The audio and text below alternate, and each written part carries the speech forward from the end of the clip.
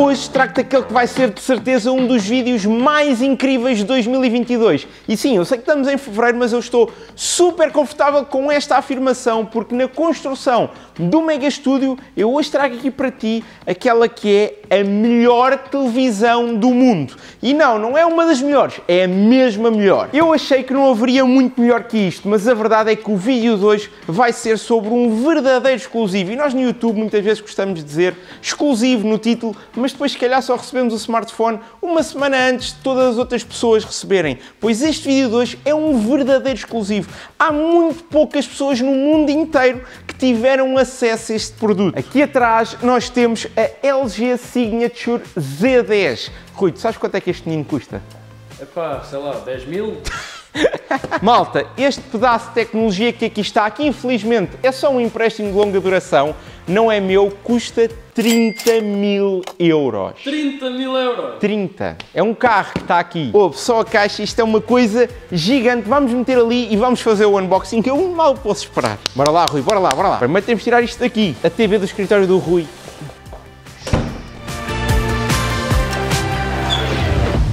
Isto é impossível mexer sozinho, né? Estou com o braço a te ajudar. Ah, eu também consigo levantar isto com o braço, mas que é foda. Ah, pois é! É... Qual ginásio, qual quê? Eu nem sei como é que é de abrir isto. A sério, isto é maior que eu. Tu é que não és muito grande, pá.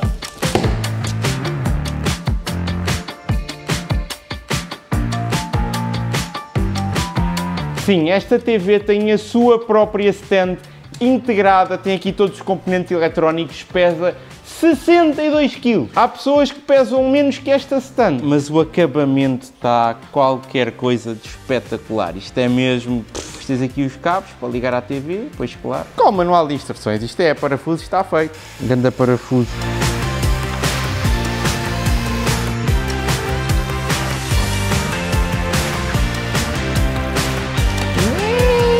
This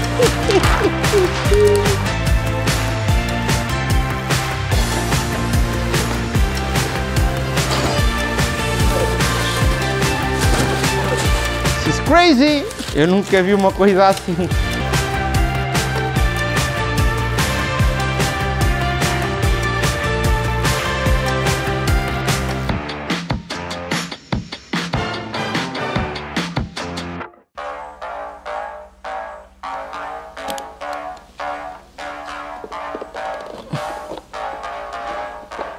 E malta, aqui a temos, eu tenho que vos dizer que mesmo sem a ter ligado, isto é absolutamente do outro mundo, é sem dúvida nenhuma o produto mais premium, mais topo de gama, mais luxuoso que alguma vez aqui trouxe ao canal. Eu compararia isto pá, a um Patek Philippe. Tipo, já nem estamos a falar de Rolex, estamos mesmo a falar do topo dos topos. E agora tu perguntas, ó oh Bernardo, mas porquê é que tu dizes que essa é a melhor televisão do mundo?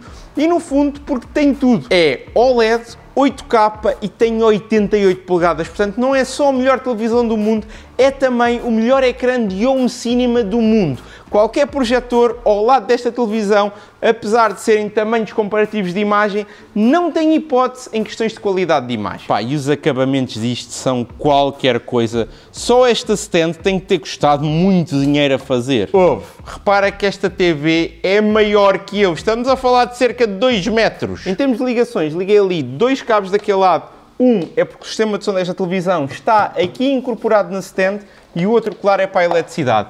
E depois temos aqui deste lado o painel com todas as ligações. Estamos a falar de 4 HDMIs 2.1 capazes de 8K e depois vários USBs, entradas óticas, tudo aquilo que tu podias esperar numa televisão topo de gama. Repara que até tem aqui um spot para os cabos saírem, depois passam por aqui e vão aqui por dentro da stand até onde tu os quiseres levar, está tudo muito bem pensado ao mais pequeno pormenor. Mas nós temos que ligar esta menina. Mesmo o comando tem um acabamento, um peso como eu nunca vi em nenhuma televisão. Repara que ele é todo feito de metal. Isto é mesmo muito premium. Isso parte a cabeça de um gajo. Imagina, a ti se não te portas bem. És bem mau para mim. Não sejas mau para mim. E malta, aqui a temos ligada. Vocês percebam só o tamanho bruto desta menina em comparação comigo. Eu sou quase um anão. Ouve, isto é, é uma coisa que eu não tenho palavras que é para descrever. Eu quero ver só um vídeo do YouTube em 8K aqui. Vamos só assim, vamos só assim. Tal. Olha o HDR, olha o HDR. Aí, mas olha para isto. Ai, o quê? o quê? Isto não é real. Isto não é real. Não é, não. Ei! Olha aqui. Olha só aqui o pelo do bicho. Olha o pelo. Tu consegues contar os pelos individuais, né? Isto é... Ouve. Isto não, isto não é real. Não, não, não, não, não, não, não, não, não, não, não, não. Não, não, não, não, não, não, não. Não. Olha para isto. Olha os pelos do hipopótamo, man. Xixi. Jesus. Ouve, estes vídeos são gravados em 4K, portanto eu nunca te conseguiria dar a real noção do que é estar a olhar para isto. Eu só te posso dizer que isto é a melhor qualidade de imagem que eu já vi na minha vida. E o que é que significa 8K? Se calhar tu não tens bem a noção. Estamos a falar de 7680 por 4320 pixels, ou seja, no total mais de 33 milhões de pixels. E como é que isso se compara com o 4K? Bom, o 4K são mais ou menos 8 milhões de pixels, portanto estamos a falar de 4 vezes mais. É como se estivéssemos aqui quatro televisões de 44 polegadas 4K cada uma, todas unidas só numa super televisão com uma definição absolutamente incrível. É que não há nada assim e nem sequer tem a ver apenas com a resolução, porque há várias televisões 8K no mercado.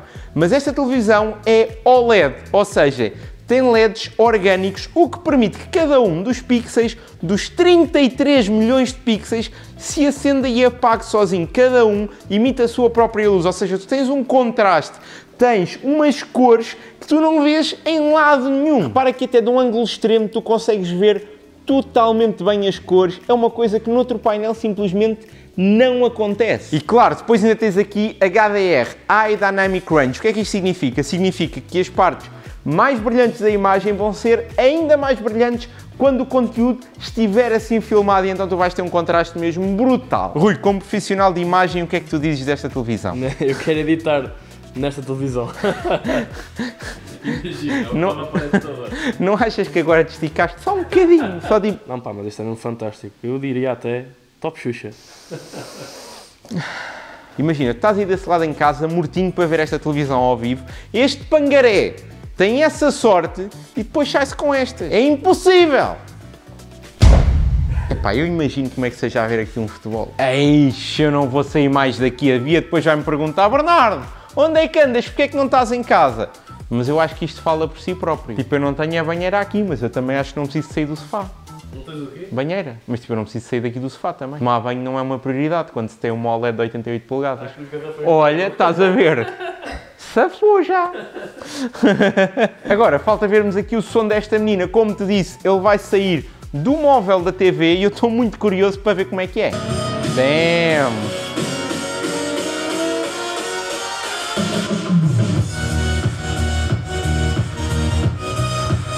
Man, bom som!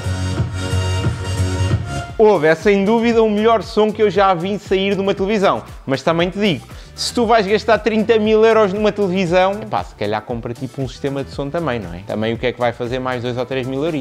Será que tipo alguém tem esta televisão em casa cá em Portugal? É pá, devem ter, há malta com muita guita. Ouve, eu digo-te, se tivesse milhões de euros na conta e um rendimento sustentável, então eu comprava uma coisa destas na boa. Eu tenho a certeza que toda a gente que vai chegar aqui ao estúdio vai comentar. Isto é um prazer enorme de olhar para aqui e é uma coisa que tu não vês todos os dias. Mas agora tu se calhar estás aqui a perguntar, ó oh, Bernardo, mas isso é 8K e o conteúdo 8K. E realmente tens razão, não existe grande coisa, mas esta TV tem também ali dentro um processador Alpha 9 de terceira geração que vai fazer o upscaling de todo o conteúdo que tu estás a ver, seja Full HD, seja 4K, ele vai pegar e vai transformar através de um algoritmo, claro, num conteúdo 8K. Se é a mesma coisa que é ver um conteúdo 8K nativo, de maneira nenhuma. Agora, se é melhor que 4K, claramente. Falta agora falarmos do gaming, sim, porque quem tem uma televisão destas quer certamente jogar aqui uns joguinhos.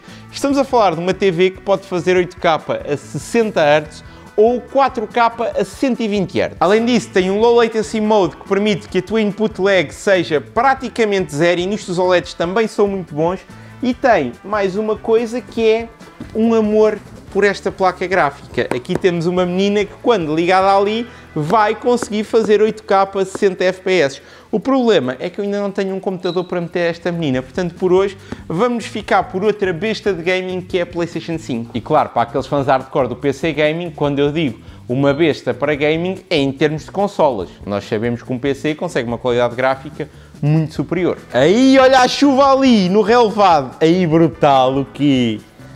Isto é espetacular. Isto é a melhor experiência gaming que eu já tive na minha vida. Ai, o quê? Que é isto? Que é isto? Imagina, isto é a câmera com que eu normalmente jogo e estou a achar, estou a achar muito perto. Como o ecrã é tão grande. Aí falta, então, faltíssima. Aí os homens nem, nem saem rápido nem nada.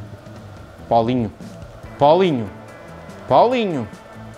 Ia pá, ia pá. Olha aí no palhinha. Ih, bem Sarábia. Tsh. Olha aí o potezão. Aí.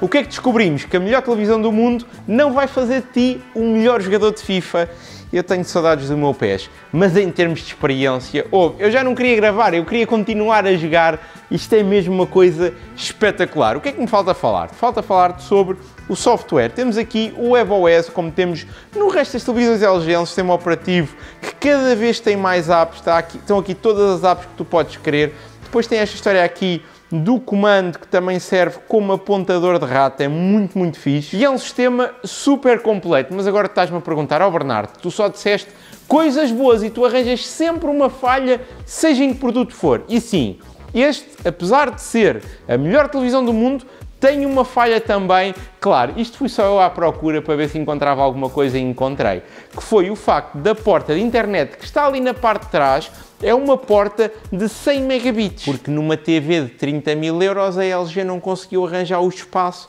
para meter lá uma porta LAN de 1 gigabit. De qualquer maneira, isto é uma autêntica obra de arte, mas eu sei o que é que tu estás aí a perguntar desse lado. Bernardo, essa televisão é gigante, essa televisão são não sei quantos de ti, isso é grande demais, não é? E a minha resposta para ti é não. E não é não porque eu te digo que é não. A resposta é não porque cientificamente não é grande demais. E como é que tu medes isto? Atenção, o sofá não vai ficar aqui, o sofá vai ficar encostado à parede e claro, nas renovações aqui do Mega Studio, o sofá não vai ser este, isto é só provisório. O que acontece é que com a resolução de programas e filmes que nós neste momento temos, o ideal para estar a ver televisão é tu estares num ângulo de 30 graus, ou seja, se eu tiver o smartphone assim, vai ocupar muito mais do meu ângulo de visão do que se tiver o smartphone assim. E o ideal para ver televisão é que o ângulo de visão que te ocupa a televisão seja 30 graus.